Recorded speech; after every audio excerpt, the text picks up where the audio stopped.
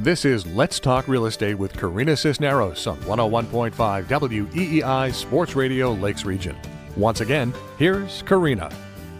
And we are back. Today we start our new segment, Local Business Spotlight. And in the studio today, uh, David Picarillo, co owner and founder of Twin Barns Brewing Company, the latest rage in Meredith, New Hampshire, across from Ippolito's. David, welcome to our show. Thank you very much. Okay, David. Now, I went to your place the other day and I had the best half chicken I've ever had in my life. What's the secret? Um, hiring very, very good people to cook very, very good half chickens. We're lucky to be uh, have two of the newer chefs in town, and they're doing a great job for us. Okay, David, what got you started in that idea of the Twin Barns Brewing Company? Sure. So uh, my partner and I, we've uh, we've known each other for close to 30 years, and we've always been interested in craft beer. We were the guys that would travel all over the country, going to different craft beer breweries. And about a year and a half ago, uh, we decided that we'd give it a shot on our own. We took a look at the map. We both love New Hampshire. We both got ties here, um, and we found that there's a great opportunity in Meredith to open up a brewery. So, one thing is a brewery, but there's also food and other things. Tell us more. Sure. So, uh, what we're really trying to establish is a brewery that serves food, not necessarily a restaurant that has a brewery. So, we want to make it a very comfortable atmosphere where you can come in, hang out, hopefully have a very good craft beer, have a little bit of food to eat, and really relax. So tell us about the layout because I thought it was quite interesting, the tables and how it works. Tell us more. Sure. So what we did is again we wanted to make it like a community meeting spot. So what we did is in the brewery tap room we put in eight foot take community tables. You'll typically find yourself sitting with people who you may or may not know. And really what we wanted to do is make it part of the community. So people came in, you introduced yourself, maybe you had a little discussion, and maybe you became friends. All right, uh, that's true. Because when I sat at my table, I sat with other people, and we actually kind of made friends. Mm.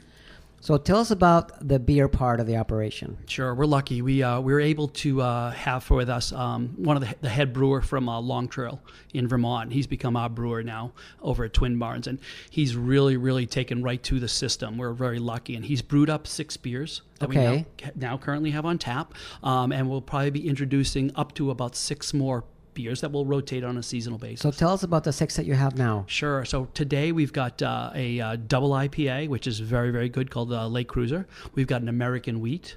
We've got a Porter, a Stout, a Sandbar Blonde Ale for those people who don't know they like craft beer yet, as well as a regular New England IPA.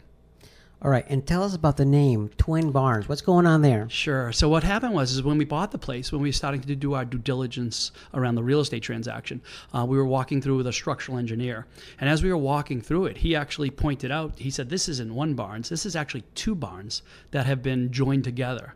So as we were going through the history of the barns, we found out that uh, a gentleman farmer by the name of McGuigan um, actually in the late 1930s took the barns and actually combined them to make one barn. And so as we were kind of thinking about names, we thought, ah, perfect, Twin Barns. Tell us a bit more about the other dishes that you prepare. Sure. So we've got, uh, you know, we've got very, I'll call very pub pub fare. So we've got uh, hamburgers uh, and pizza made to order. Um, we've also got uh, mac and cheese. You know, again, really homey meals, and we have the the half chicken, as you described, as for people who want something a little bit more substantial. But that half chicken, I'm telling you, so juicy and just so delicious. I haven't had as great a chicken as that in a long time. That's great to hear. Like I said, I'll, I'll make sure I tell the chef. He, uh, they spent a lot of time testing that uh, cooking ability and the and the and the kind of uh, um, um, the kind of uh, uh, system that they have in place. Now, before you got there, what establishment was there? Sure. It was uh, prior to us. It was the uh, motorcycle museum that operated, I think, for about six or seven years there in uh, Meredith, and it was really a museum uh, where the proprietor had uh, motorcycles from all over the world and from all different time frames and even prior to that, it was Burlwood Antiques which I, oper- I think operated for close to 30 years in that location, um, where people would come in and shop for antiques on a seasonal basis. And then, from what I've been told, prior to that, it was actually a chicken barn. How interesting. Now, how long ago did you open? Uh, we opened uh, two Tuesdays ago, so we've been open for not quite two weeks. And how's it been? Uh, it's been great. We've been overwhelmed by uh, the folks coming in, both locals as well as tourists, and it's been uh, it's been a great experience. Uh, uh, we keep on saying uh, we don't have a complaint to, um, a complaint in the world. And are you open seven days a week? No, we're only open six. We're, so we're closed on Mondays, but we operate from 11 a.m. till 10 p.m. Tuesday through Saturday, and then we close a little early on Sunday at 8 p.m. So you talked about that you have six now beers, Mm-hmm. and you do uh, six more. What's in the future? Sure. So we're going to really begin to uh, ta do seasonal beers. So we'll do some uh, maple porters and stouts like that. Also, too, uh, on September 28th of this year, we have an Oktoberfest planned. So our plan is to, to brew up some German lagers as well. Okay. Well, David, again, uh, thank you for, for taking the time to come to our studio. Uh, I'll be back to try some more of that chicken, which is amazing. And um, I wish you uh, tremendous success in your new uh, endeavor. We need and want entrepreneurs like you in and around the Lakes region. Thank you very much. Okay. Um, it's time to take a break and hear from our sponsors. We'll be right back with more Let's Talk Real Estate after this on 101.5 WEEI Sports Radio Lakes Region. Now to